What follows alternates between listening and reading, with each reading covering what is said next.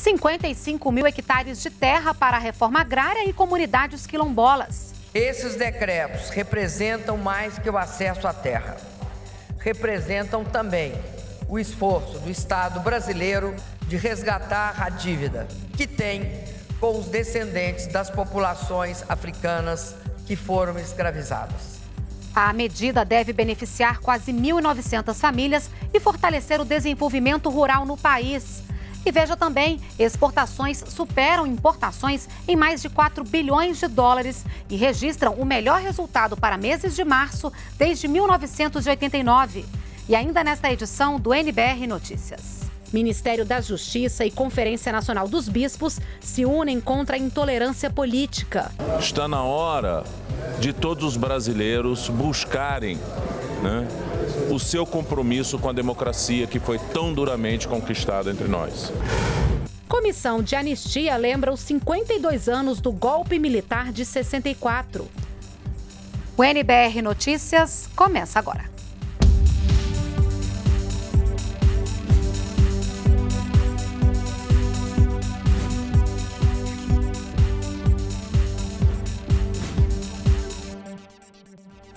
Olá, boa noite.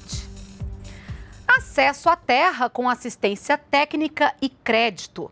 Hoje foram assinados decretos destinando 55 mil hectares de terra para a reforma agrária e comunidades quilombolas. A ideia é fortalecer o desenvolvimento rural no país.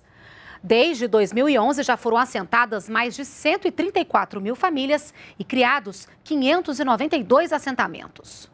Um reconhecimento histórico. A presidenta Dilma Rousseff assinou no Palácio do Planalto cinco decretos que regularizam 24.500 hectares em cinco estados, beneficiando 831 famílias quilombolas. As comunidades quilombolas, como parte desse território, como parte dessa área rural do Brasil inteiro, né, nesse momento em que ela recebe títulos da terra, aí é dar uma concretude né, de um elemento fundamental da sua luta, que é, dentre outros elementos, dentre outras variáveis, é a luta pela propriedade da terra. A ministra das Mulheres, Igualdade Racial e Direitos Humanos ainda anunciou o terceiro edital do Sistema Nacional de Promoção da Igualdade Racial. Esta chamada pública apoiará propostas que visem o fortalecimento institucional aos órgãos, aos conselhos, aos fóruns estaduais, voltados todos para a promoção da igualdade racial.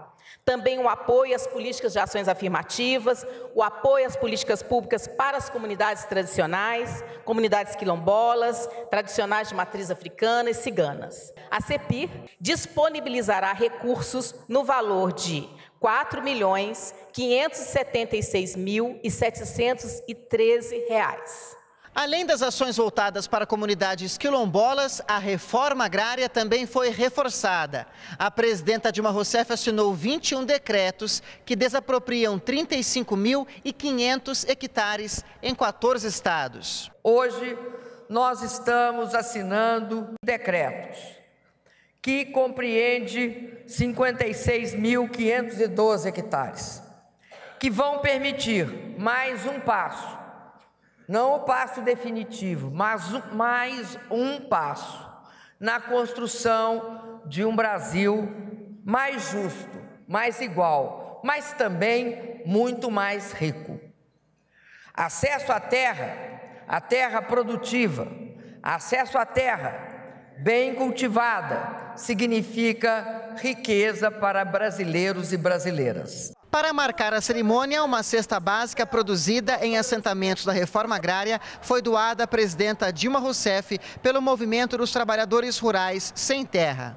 Enquanto houver latifúndio nesse país, não haverá democracia plena, verdadeira. Enquanto houver latifúndio, não haverá o direito à liberdade e o direito à produção e à alimentação. Então, presidenta, essa assinatura desse decreto nos dá e nos enche de esperança de que a reforma agrária no seu governo, na administração do Patrus, vai avançar a passos largos. Nós estabelecemos uma, uma força-tarefa, uma sala de situação, que vem trabalhando todos os dias com muita determinação para vencermos juntos os desafios e avançarmos nesta opção estratégica que fizemos de assentarmos estas pessoas e famílias. E a outra grande prioridade é o desenvolvimento da agricultura familiar. Já a presidenta Dilma Rousseff defendeu que a terra é o primeiro passo da reforma agrária. Junto com ela vem o acesso ao crédito e a assistência técnica. Esses decretos representam mais que o acesso à terra. Representam também o esforço do Estado brasileiro, mesmo numa conjuntura de dificuldades, de resgatar a dívida que tem com os descendentes das populações africanas que foram escravizadas. Esse esforço envolve necessariamente uma política de assistência técnica, de compras de produtos quilombolas, a criação do selo quilombola para as comunidades que vivem dos valores e frutos do campo. Queremos e vamos continuar colocando o Estado brasileiro para atuar em favor da superação da enorme desigualdade racial e desse preconceito que ainda vige em nosso país. Ainda na cerimônia, a democracia foi defendida pelos movimentos sociais. Na cerimônia em que foram anunciadas medidas para fortalecer o desenvolvimento rural no país, a presidenta Dilma Rousseff recebeu apoio de movimentos sociais do campo e integrantes de comunidades quilombolas em relação às políticas sociais no país e manifestações em defesa da democracia. O representante dos agentes de pastoral negros disse que a democracia foi construída no Brasil com lutas históricas. A posição da nossa luta histórica em defesa dos valores democráticos, sem nenhum passo atrás na consolidação das conquistas, direitos e cidadania ameaçados no contexto atual por setores retrógrados da nação, nos delega o compromisso de defender a democracia e o respeito à soberania popular, expressa nos milhões de votos do povo brasileiro nas últimas eleições presidenciais de 2014 o qual o conjunto deste mesmo movimento negro, presidenta, foi a Minas Gerais lhe declarar apoio e renova este mesmo apoio neste momento. A representante da Coordenação Nacional das Articulações das Comunidades Quilombolas defendeu a mobilização popular para que não haja retrocessos nos direitos conquistados pelos brasileiros. Hoje o Brasil é outro. O movimento negro, rural e urbano participou ativamente desse processo como agente das transformações que chegaram principalmente nas camadas mais pobres da população brasileira. Nós, quilombolas, somamos mais de 16 milhões de pessoas. Representamos muito a diversidade nacional e podemos dizer que somos provas vivas do avanço do país, proporcionado pelas gestões do ex-presidente Lula e a presidenta Dilma Rousseff. Em seu discurso, a ministra das Mulheres, da Igualdade Racial e dos Direitos Humanos ressaltou os avanços na luta por mais igualdade de oportunidades no país. De 2003 a 2014, a situação de extrema pobreza que atinge a população negra reduziu, senhoras e senhores. Reduziu quase 72%. Programas como Bolsa Família contam com 73% dos beneficiários negros, dos quais 68%, presidenta, são famílias chefiadas por mulheres. Destaca-se que no total do programa, as mulheres representam 93% das beneficiárias.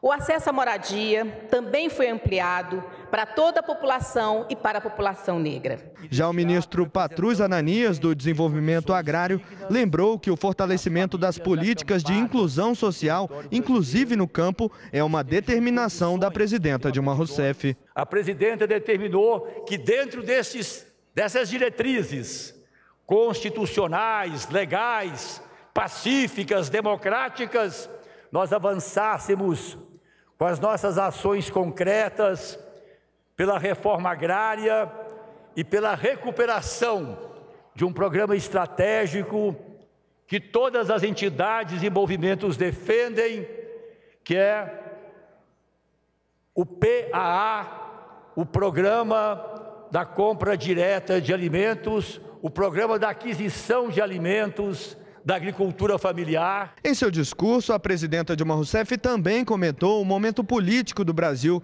e disse que promover a inclusão social ajuda a fortalecer a democracia. O combate à desigualdade, contra o preconceito, a construção de um país pacífico no convívio social é um princípio que permeia todas as ações de meu governo.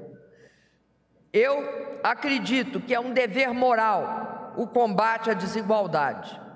É um dever moral, mas também é, sobretudo, uma exigência da democracia. E a presidenta Dilma Rousseff encaminhou ao Congresso Nacional as contas do governo relativas a 2015. Todo ano, a presidenta apresenta ao Congresso as contas relativas ao exercício anterior, por determinação da Constituição. O prazo para esse encaminhamento é de 60 dias depois da abertura dos trabalhos do Congresso em fevereiro. O Congresso é responsável por apreciar e julgar as contas com auxílio do Tribunal de Contas da União. E o Banco Nacional de Desenvolvimento Econômico e Social, o BNDES, divulgou nota sobre as acusações feitas pela advogada Janaína Pascoal na última quarta-feira à Comissão Especial da Câmara, que analisa o pedido de impedimento da presidenta Dilma. No texto, o BNDES lamenta a falta de informação da advogada e respondeu a acusações, entre elas a de que, a de que por meio do BNDES foi mandado dinheiro para Angola, Cuba e outros países. O banco explicou que não envia recursos para fora fora do país.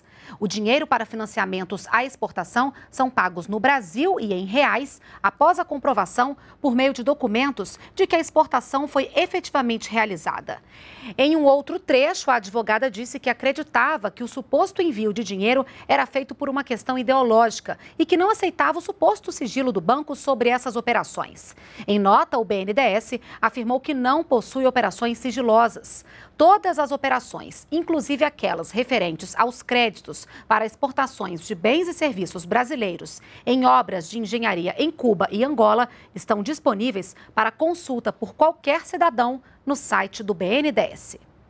O Ministério da Justiça e a Conferência Nacional dos Bispos do Brasil assinaram um documento hoje contra a intolerância política. Para o ministro da Justiça, a intolerância gera preocupação no governo e é preciso mais respeito a opiniões diferentes. O documento é uma iniciativa da Conferência Nacional dos Bispos do Brasil. Também assinaram a nota representantes do Ministério Público Federal e do Instituto dos Advogados Brasileiros. A nota conjunta faz algumas considerações sobre o atual momento político vivido no Brasil e afirma que divergências de pensamentos devem ser resolvidas com respeito mútuo entre os cidadãos. O ministro da Justiça afirmou que a intolerância política envolve todos os níveis da sociedade. As pessoas que realmente têm consciência nesse país da gravidade no momento vivido devem ter refletir a respeito da violência que está infelizmente dominando o debate político.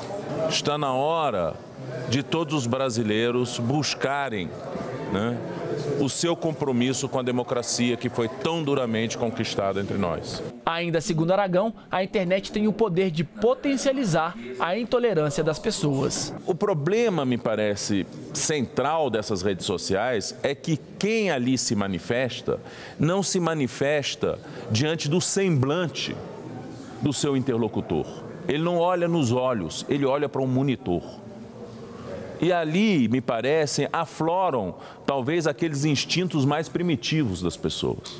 Para Dom Leonardo Urit, que assinou o documento pela CNBB, a política é importante para garantir o desenvolvimento do Brasil. Segundo ele, o que pode fazer a diferença para evitar conflitos é a forma como as pessoas colocam as palavras durante uma discussão. Às vezes nas nossas falas, nas nossas falas, às vezes nós tropeçamos, em vez de expormos uma ideia tranquilamente, nós já agredimos na palavra. Os senhores que trabalham com imprensa sabem da importância da palavra. Então a palavra ela pode dizer a mesma coisa de outro modo. Nós não precisamos usar da agressão na palavra.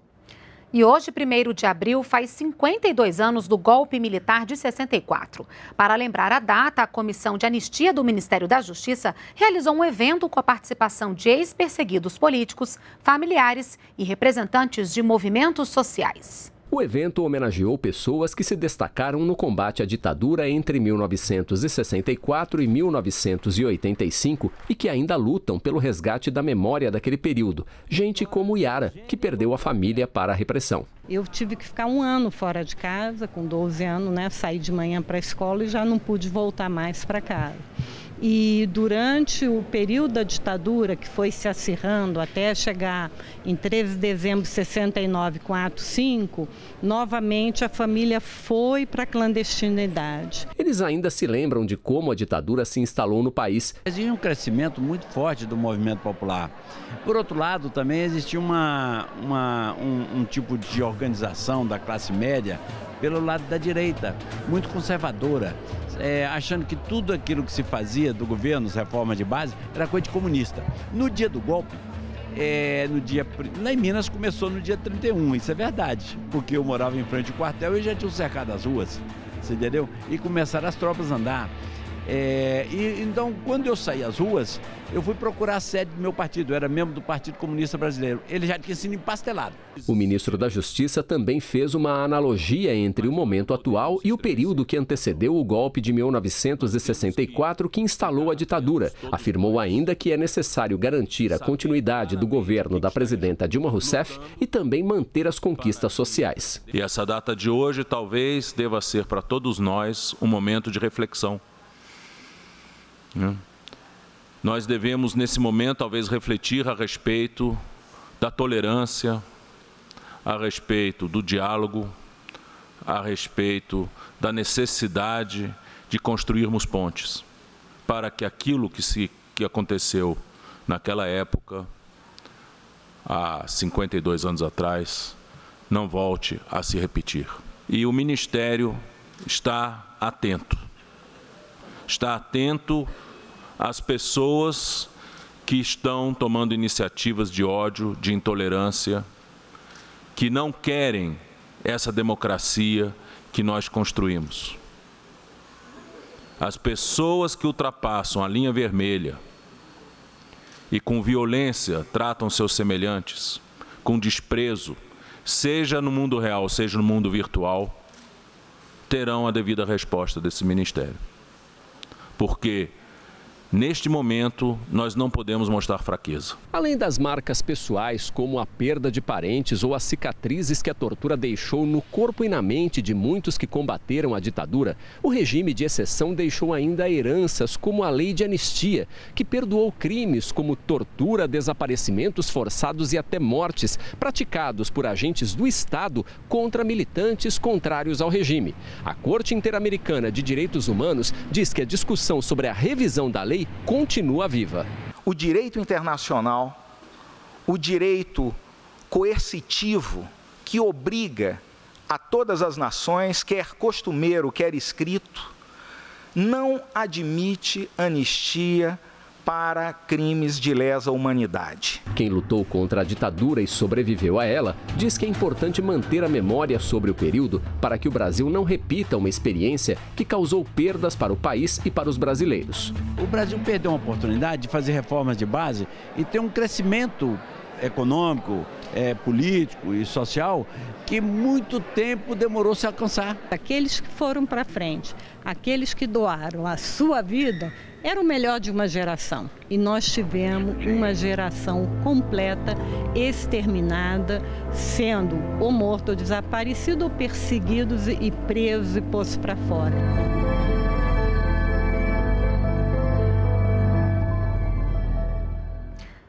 Partir de hoje, o consumidor vai pagar menos na conta de luz. A bandeira tarifária deste mês de abril é verde. Entre os fatores que ajudaram a diminuir o custo da energia elétrica estão a, gr a grande quantidade de chuva, que recuperou a capacidade dos reservatórios das hidrelétricas, e a entrada em operação de novas usinas. E por falar em energia, um encontro em Washington, nos Estados Unidos, discute a segurança nuclear. O ministro das Relações Exteriores, Mauro Vieira, é o representante do Brasil no encontro. Hoje, na reunião, o ministro destacou que o Brasil está comprometido com a ampliação e com a segurança na geração de energia nuclear no Brasil. E destacou que o país tem legislações específicas sobre o assunto e se destaca pelo uso desse tipo de energia somente para fins pacíficos. O Brasil já se destaca pelo uso seguro desse tipo de energia e faz parte de um grupo de 190 países que assinaram um tratado para não proliferação de armas nucleares. Estudantes de medicina vão passar por uma avaliação obrigatória de dois em dois anos.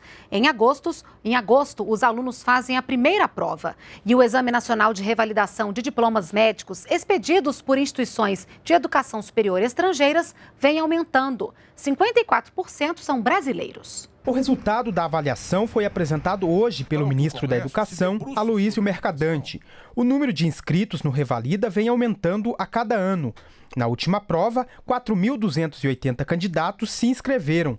2.009 passaram para a segunda fase e 1.683 foram aprovados e estão aptos a exercer a medicina no Brasil. O Brasil tem hoje 1,8 médico para cada mil habitantes, mas a meta do governo é que chegue a 2,7 médicos para cada mil habitantes, índice semelhante ao da Inglaterra. O ministro da Educação, Aloysio Mercadante, destacou o aumento do índice de aprovação no exame. O fator que explica esse aumento de participantes de aprovação foi a experiência vivida pelos mais médicos. Porque esses médicos, eles eram diplomados, mas com mais médicos eles puderam exercer a medicina na atenção primária com supervisão e formação.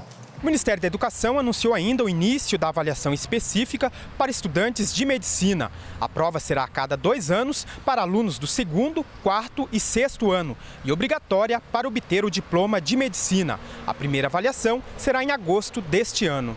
A avaliação está prevista em lei aprovada em 2013 e uma resolução do Conselho Nacional de Educação de 2014 instituiu o prazo de dois anos para o início da aplicação da prova. Cerca de 20 mil estudantes de cursos de medicina devem fazer a prova em agosto. O aluno e a instituição de ensino terão responsabilidade em fazer a inscrição. A prova vai ser aplicada por uma comissão formada por representantes do governo e de instituições médicas. É um exame condicionante à sua diplomação, à sua formação, e evidentemente vai ajudar para avaliar tanto o estudante quanto a instituição. A balança comercial brasileira registrou o melhor resultado em 28 anos. Em março, o superávit, que é a diferença entre as exportações e as importações, foi de quase 4 bilhões e meio de dólares. Em março, a balança comercial brasileira teve mais um recorde positivo. As exportações alcançaram 16 bilhões de dólares e as importações um pouco mais de 11 bilhões e meio. O superávit foi de quase 4 bilhões e meio de dólares, o melhor resultado para meses de março desde 1989. Os destaques da exportação foram a soja, o milho, as carnes bovina e de frango e também os aviões e automóveis. Embora haja uma redução nos preços, o, o significativo volume embarcado tem tem compensado a redução dos preços. Também as carnes têm apresentado um bom desempenho nesse começo de ano. A carne de frango tem aumentado significativamente, a carne bovina também, principalmente para China. Né? Sabemos que houve uma liberação desse mercado em meados do ano passado, então isso tem ajudado o desempenho das exportações como um todo. Focar no mercado externo. Essa é a estratégia do diretor-presidente de uma fábrica de pisos de madeira no Distrito Federal, que já vende para os Estados Unidos, o Canadá e a Arábia Saudita. Nós estamos atualmente focando mais no mercado externo do que no mercado interno, em função da banda cambial que veio para contribuir com os pequenos exportadores. O NBR Notícias fica por aqui. Outros detalhes sobre os serviços e as informações do governo federal no Portal Brasil. Para você, uma boa noite, um ótimo fim de semana. Continue com a gente aqui na NBR, a TV do Governo Federal.